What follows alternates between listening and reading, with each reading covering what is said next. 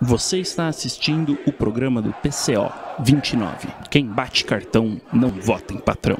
Deixa cada um se f... do jeito que quiser. Nós já botamos a granada no bolso do inimigo. Dois anos sem aumento de salário. Se aposentem com menos de 50 anos, não sejam vagabundos num país de pobres e miseráveis. tempo da vagabundização remunerada acabou. A minha continência, a bandeira americana.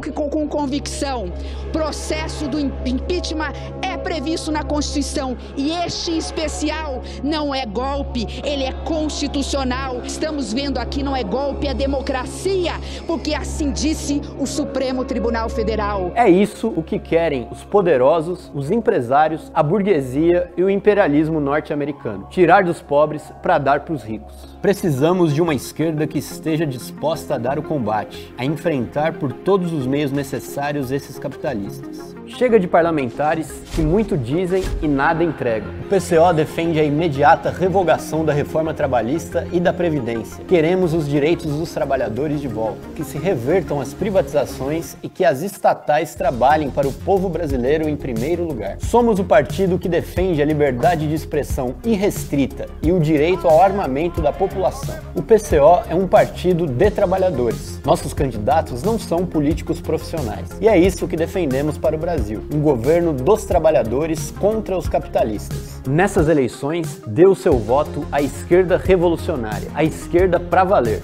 Vote 29. Para deputada federal em São Paulo, vote Lísia Sakai 2900. Partido, partido.